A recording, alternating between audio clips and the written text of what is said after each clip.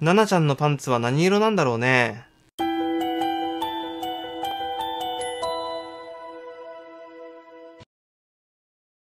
はい、ということで、皆さんこんばんは、スフィアリアです。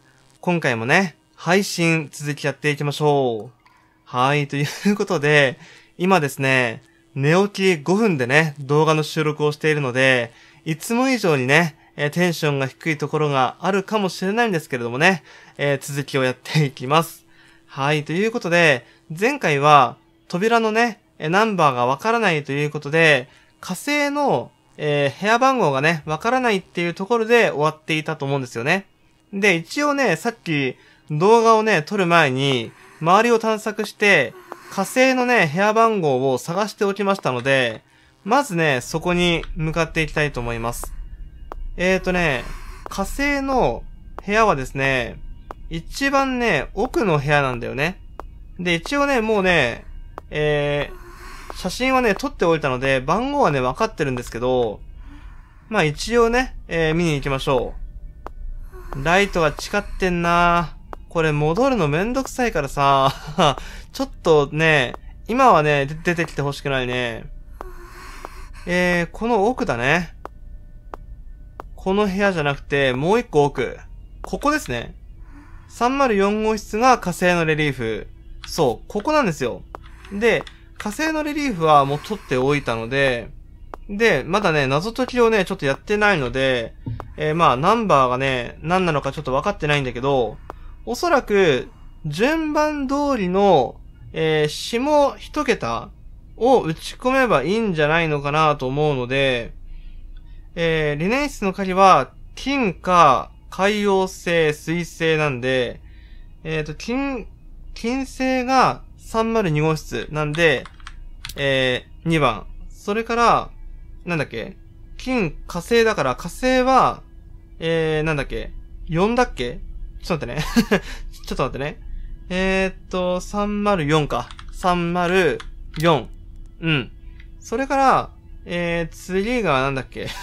次が海洋星海洋星が、えー、海洋星だってる？あってね、海洋星が、えー、見えないんだけど。えー、308。で、最後。えー、最後の、えー、水星が1。これで合ってると思う。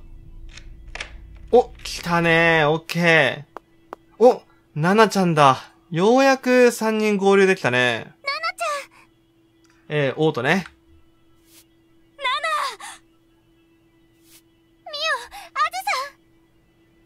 事でよかった。二人のおかげよ。ナナちゃんが配信してくれてたから。あれ？このパソコンナナの配信用のノートパソコンじゃない？どうしてこんなところに置いてあるの？え？えっとそれはそのこ今回の撮影に必要で。どういうこと？今回は動画だし急だからスマホで撮るだけでいいってナナちゃんがだだからえっとナナ？ご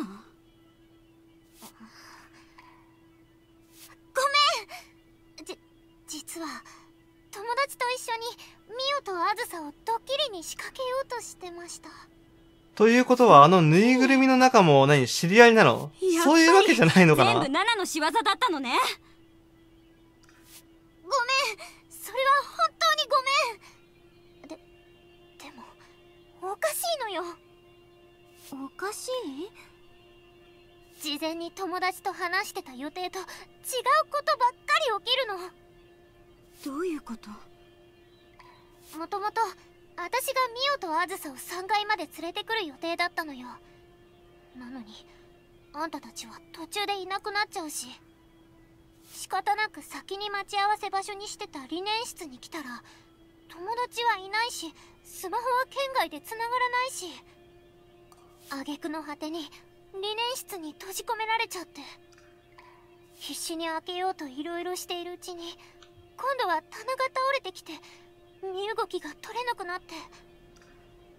じゃああの着ぐるみは？着ぐるみ？ああロビーにあるあれのこと？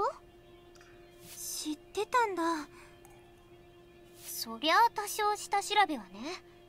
昔向かいにあったファンタジーランドの着ぐるみらしいわよ。ああ、そうなんだ。どうしたの？どうしたのじゃないわよ。私とミオはその着ぐるみに殺されそうになってたのよ。殺されそうって？え？何？全然話が読めないんだけど。さっきからずっと血のついたナタを持ったその着ぐるみに追いかけ回されてるの。着ぐるみがナタって。ま待ってよ何それ。そんなの私聞いてない。だからね遊び半分でこういうとこ入っちゃダメなんだって。そのお友達さんにドッキリで襲わせてたんじゃないの？そう思うよね。どんな危ないやつと手組んだの。ち、違うわよそんな物騒なこと計画するわけないじゃない。じゃあ何？そのお友達さんが勝手に私たちのことを襲ってるってこと？待ってよあずさ。私が信頼している友達よ。やっちゃいけないことくらいはわきまえてるわ。それにその友達って確かに私よりは背も大きいけどあずさどころかミオよりも小柄な子だよ。もともと私たちの予定では308号室で驚かしたらすぐにネタバラシする計画だったし着ぐるみなんて。そんな。それじゃあいつは何で動いてるのよ。わからないわよ。私まだ動いてるところ見てないし。ナナ本当に知らないんだよね。うん分かった。じゃあひとまずその友達を探さないとだね。あそうだった。そんなヤバいやつがカッポしてるなら普通にあの子も危ないじゃない。どこにいるのか見当はついてるの？うんわからない。そっちもずっと電話が繋がらないのよ。もう死んでんじゃないの？じゃあ気をつけながら探そううん。いや、なんかね、あの、まあ、YouTuber あるあるって言ったらあれなのかもしれないんだけどさ、ね、ドッキリばっかりやってるからさ、え、何この視点？え、何これ？え、このさ、手前の棚のこの、なんか、感じは何これ？これは？あ、棚が倒れてる。あ、なるほど。っていうことは手前の棚が倒れてるから、この、あれなんだ。なんか変な視点なんだ。なるほどね。ああ、そういうことか。まあね、ドッキリばっかされてるとね、何が本当で何が嘘なのかね、わかんなくなっちゃうよね。うん。え？ムービー ?3 階で落ち合う予定にしてたから、この辺りにいる気はするんだけど、下に降りた方がいいのかしら。それが、降りれないんだよね。上がってきた階段が、実は瓦礫で塞がれちゃってえ？じゃああの階段降りられないの？え、でも下調べしてるんだったらどっか7分かってんじゃないかなって思うけど。他の場所を探さないと。うんあ、そういえば、確かこの隣に非常階段が。うん、だろうなって思った。あ、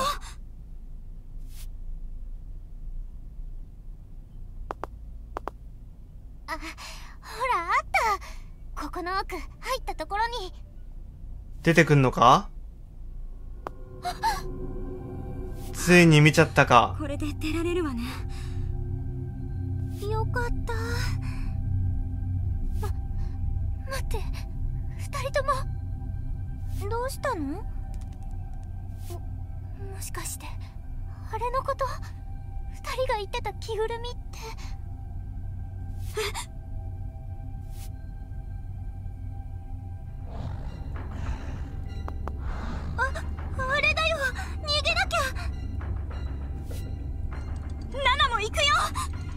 そっちから来たらどこだ？隠れんのは。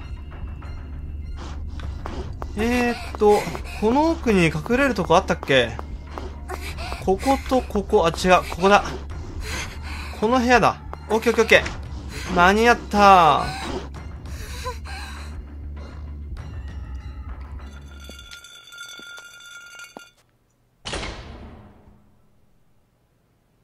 よし、オッケー。そしたら、もう、あ、やっぱムービー入るか、やっぱり。逃げ切れたた、多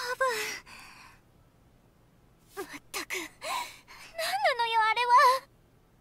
分かったら苦労しないわよ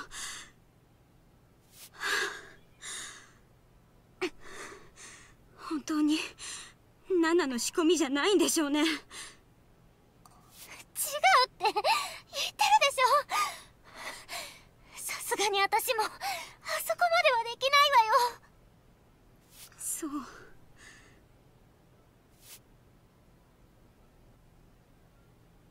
よし、じゃあ、そしたら、これ、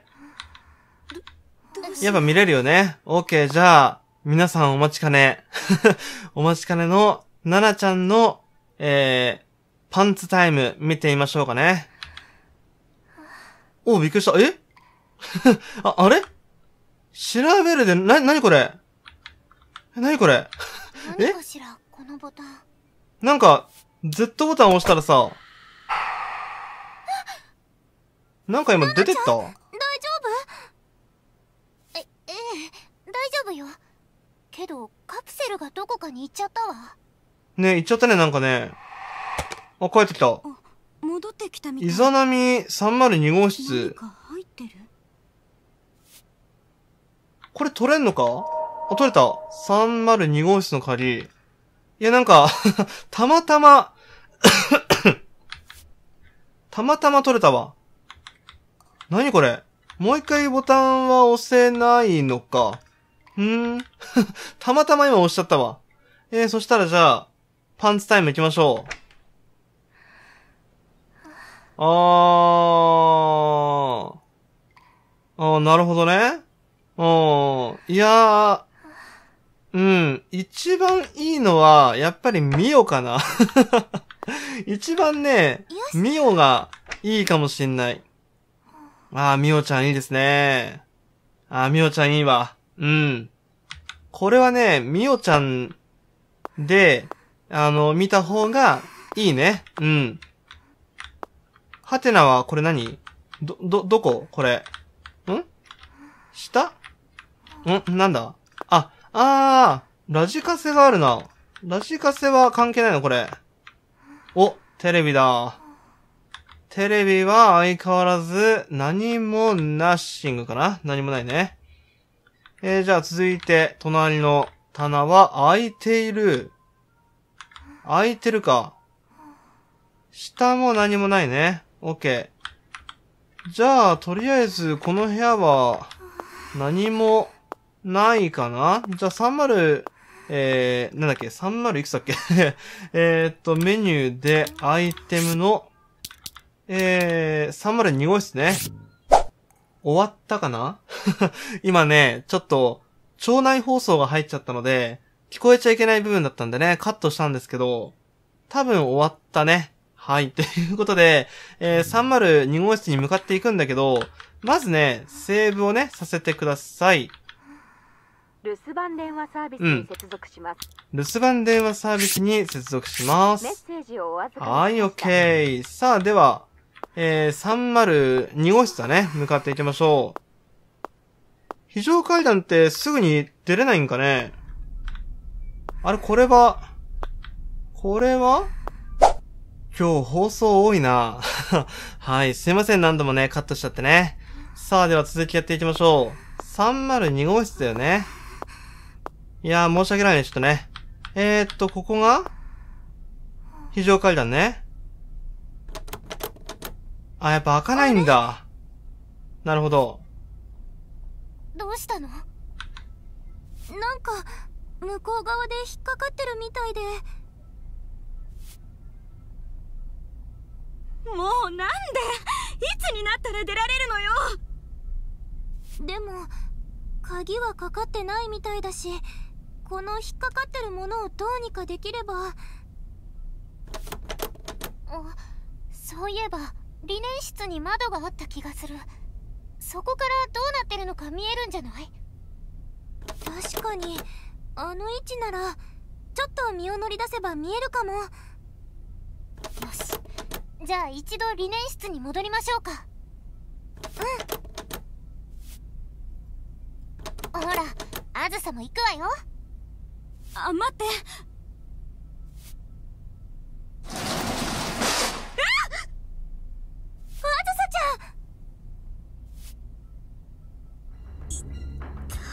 またなんか起こってんな、これ。あ足が引っかかってんのか。大丈夫。溝に挟まっただけっぽい。ただう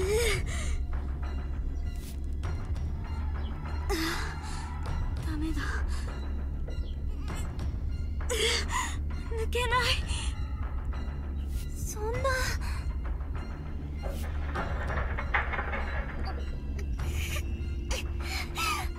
っちもダメ。シャッター重たすぎて持ち上がらない。どどうしよう。豪華シャッターってことは開け閉めするための何かがあるはずよね。そこのボタンでしょ？これ。これでしょ？一本の棒？開くと一本の棒が飛び出している。まあ、とりあえず、まあ、胸だよね。うん。いやー、これどうだろうな。ギリギリだな。このぐらいなら、まあ、モザイク、まあ、一応モザイクかけとくけど、うん。シャッターとかも、特に何もないか。アイテムだよな一本の棒が飛び出てるってのがちょっとよくわかんないんだけど、ろうそく、クレヨン。まあ、とりあえず、飲みで、壊せないか、これ。一本の棒が飛び出てるってのはさ、よくわかんないんだけど、プラスドライバー。そういうわけじゃないの。なんだろう。ここにさ、飲みでなんか、うまくやれたりしないのかなダメか。なんかね、うまくね、こう、テコの原理でさ、あ、ん？あ、戻れた。あ、あれ？戻、戻れたんだけど。あ、ああえ、え、でもさ、この状況で、どうすればいいんだろう？なんかアイテム取り忘れたりしてんのかな？なんだろうね。あずさ死なないかなこれ。ワンチャンちょっとね、死ぬところを見てみたい感じあるんだけどな。なんか、スイッチかなんかあるのか？スイッチかなんか、あったりする？あ、結構いけちゃうんだね。結構いけちゃうんだな。あのビビリのさ、ね、あずさ、ね、あのままにしといたらね、すんごいなんか悲鳴あげそうだけどね。これ今助けられんのかなあずさ。ん？うん。まあ、とりあえずね、胸を触るぐらいしか、今んところね、やることないんだけどな。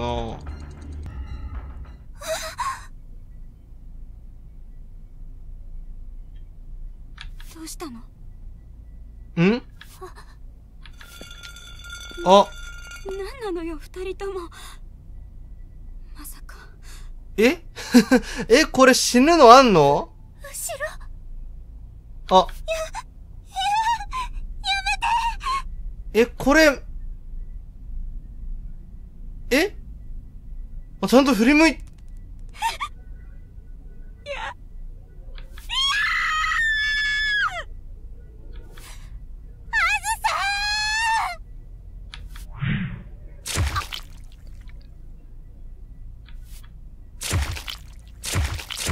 うわ、すげえ音してる。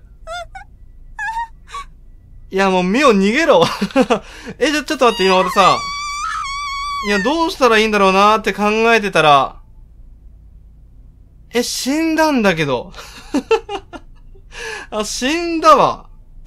はい、ということで、戻ってきたんだけど、ちょっとね、音声の不具合で、後半がね、取れてなかったんでね、初めての後付け実況で喋っているので、違和感がね、すごいかもしれないんですけれども、お付き合いください。はい、ということで、ここなんですけれども、わかんなかったんで、調べたんですよね。で、そしたら、やっぱりね、時間経過で、あずさが死んじゃうので、早めにね、助けてあげなくちゃいけないみたいですね。で、ここのね、シャッターを開けるのに、アイテムがね、必要なんだけど、それをね、取りこぼししていたみたいなので、それをね、今から探しに行きたいと思います。後付け実況ってなんか喋りづらいね。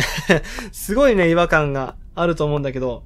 はい。ということで、そのね、アイテムがどこにあるかというと、このね、308号室にあるんですよ。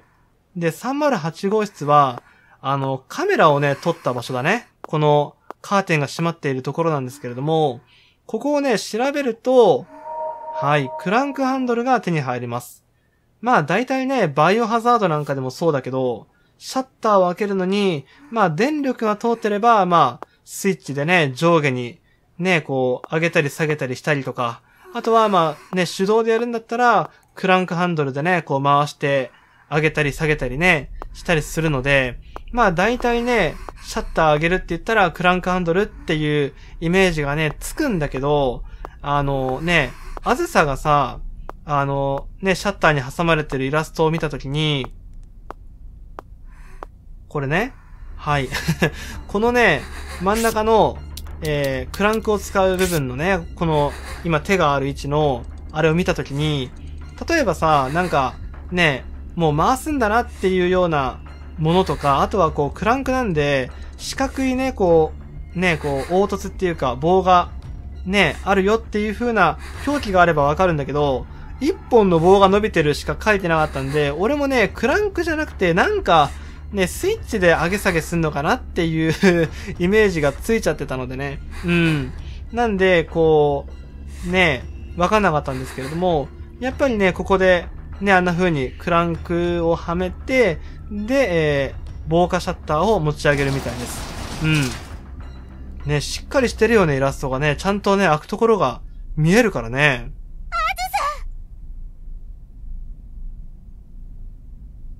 あ、オートにすんの忘れたって言ってんのか、ここね。ね、あの、後付けだからね。はい。ありがとう二人とも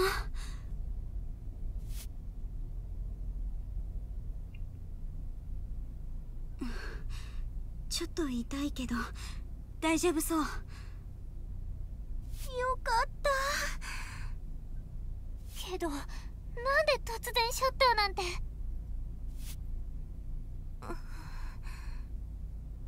まあ廃墟だからどこが崩れてもおかしくないわ。注意していかないと。そうだね。ひひとまず理念室に向かいましょうか。さあ、ではね、えー、なんだっけ。えー、非常階段の扉が閉まってるんで、それがなんで閉まってるのかっていうのを、えー、窓をね、えー、開けて確認するっていうところだよね。ね。はい。立て付けが悪いのかな？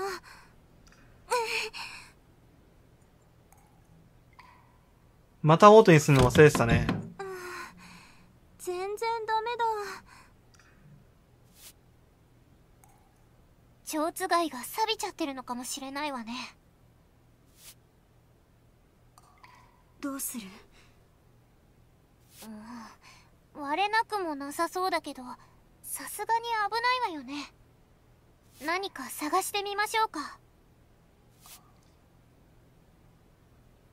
うん、ということで、まあ、ね、窓ガラスだったら、ハンマーでも割れんじゃないかなっていうことで試すんだけど、うん、まあ割れないんだよね。ということで、えー、蝶つがいがね、錆びているというふうに言っていたので、えーサビを取るアイテムを、まあ、探してこなければいけないというわけですね。うん。はい。さあ、ではね、表に出て、えーね、探索していきましょう。思えばね、3階ってね、あんまりね、探索していなかったので、なので、まあ、えー周りをね、ちょっと探索していきましょう。さあ、この部屋には何があるかな？ここはあれですね、えー30、なんだっけ、302号室かなんかの、ね、鍵を取ったところですね。うん。で、あとは、えー奥に進んでも特に何もないかな。うん。この辺も調べたもんね。うん。で、クローゼットの中も特に何もない。この辺もね、一回調べたもんね。うん。何もないですね。さあ、続いてテレビは、テレビも相変わらず何もないと。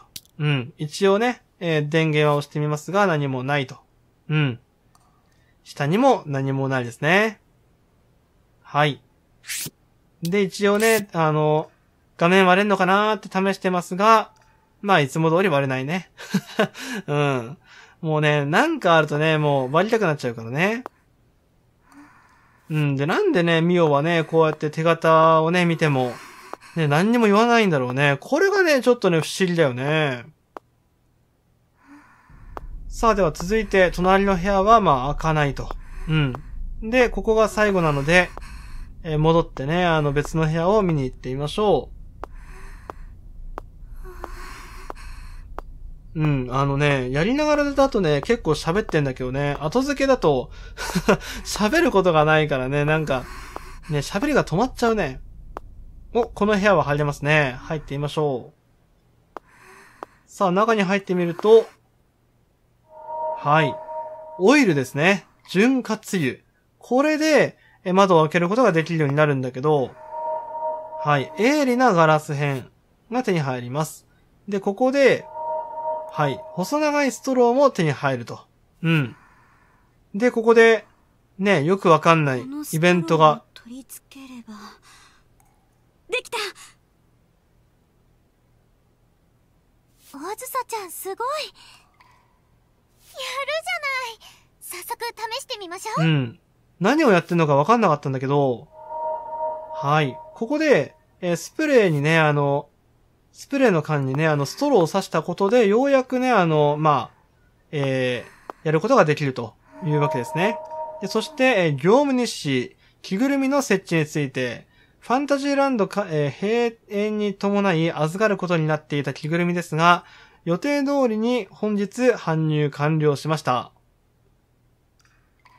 本日の、えーにえー日勤シフトメンバーで事前に用意していたエントランスのショーケースへと設置しましたと。うん。さあ、そして、この部屋はね、調べていなかったので、えー、単数をね、えー調べていきましょう。何もないね。うん。間違ってね、あのね、閉じようと思うんだけどね、ね、あの、C とね、えー X 間違えちゃうんだよね。で、この部屋も特に何もないですね。電源も相変わらずないと。うん。さあ、何もないので戻っていきましょうか。これね、あのね、動画外で結構見るんだけど、結構ね、放置していてもね、現れるんだよね、あの着ぐるみ。なんでね、意外とね、結構襲われるのでね。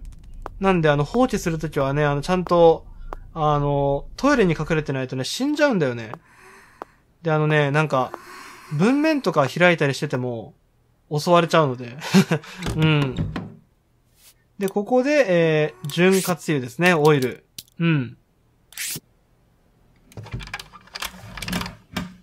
開いたわお外真っ暗ミオドアの方を見てくれない？わかったまあ夜中だからね、そりゃ暗いよね。見えづらいなよいしょっといやーね、いや大丈夫？すごい体勢だよね。大丈夫だよ縁起でもないこと言わないでごめんいや、本当にね、すごい体勢。もうね、落ちそう。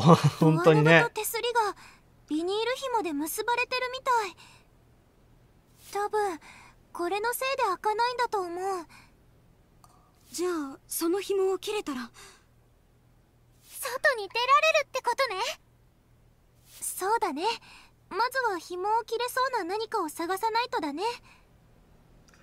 うん。ということで、まあ、紐をね、切るわけなんだけど、これね、まあ、紐を切るって言ったら、ね、やっぱりね、ハサミだよねっていうことで、ハサミを使うんだけど、うん。ハサミでね、何回やってもこれね、開けられないんだよ。うん。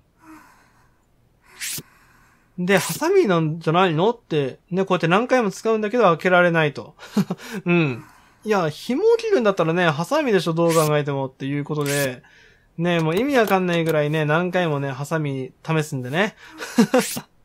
うん。え、なんで切れないのこれってね、言ってたんだけどね。うん。いや、このね、紐を切るためにはどうしたらいいんでしょうね。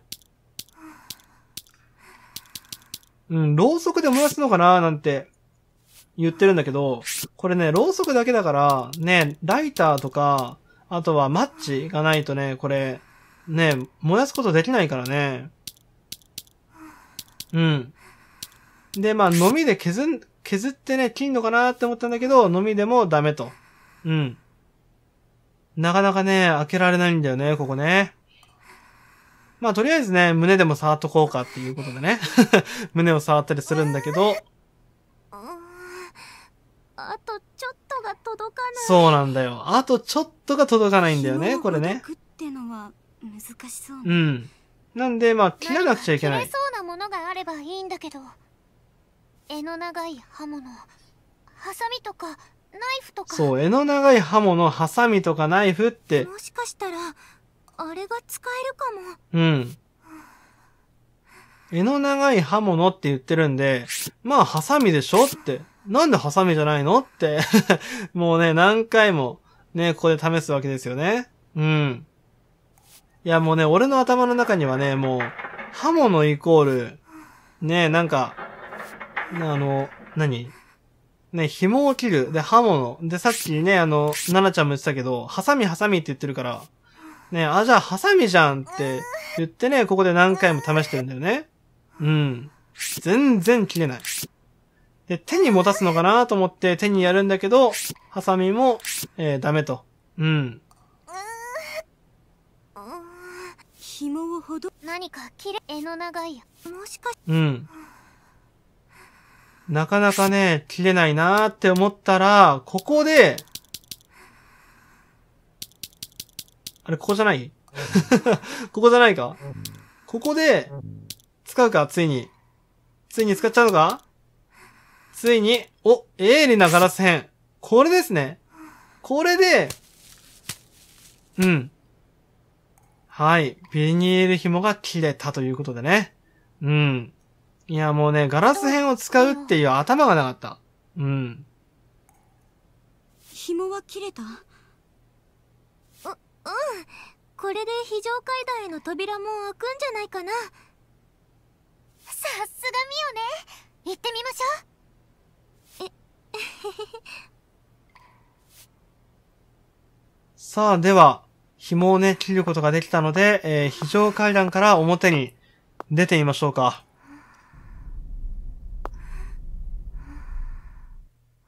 さあ、ようやく表ですね。やっと外に出られたわなんか風が強いね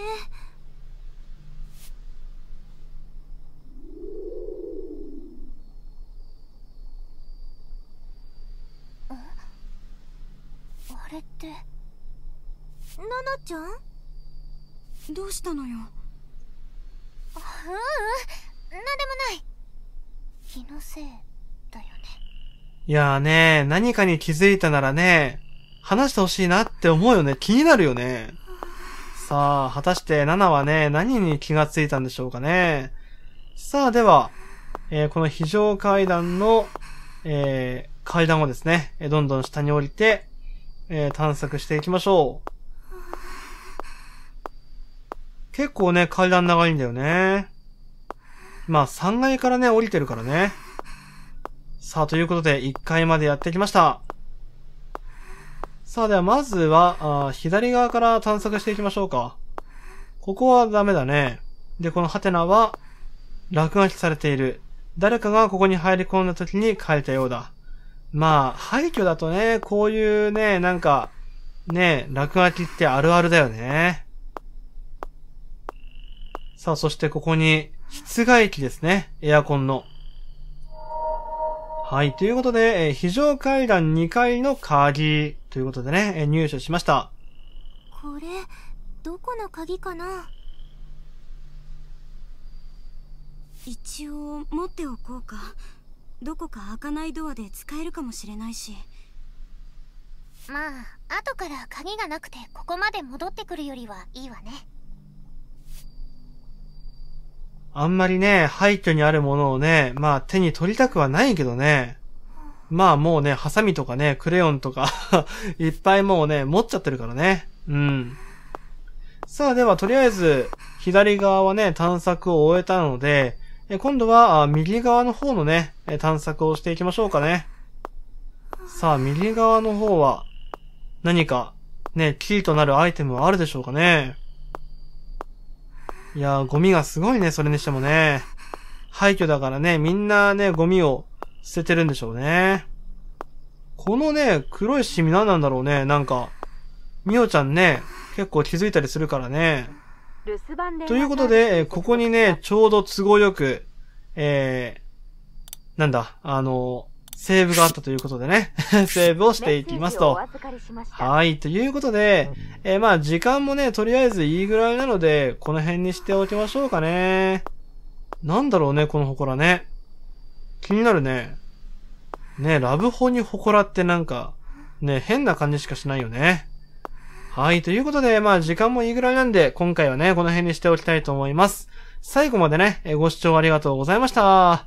良ければね、チャンネル登録、高評価、通知のオン、ツイッターのフォローなどよろしくお願いいたします。ではまた次回の動画でお会いいたしましょう。バイバイ。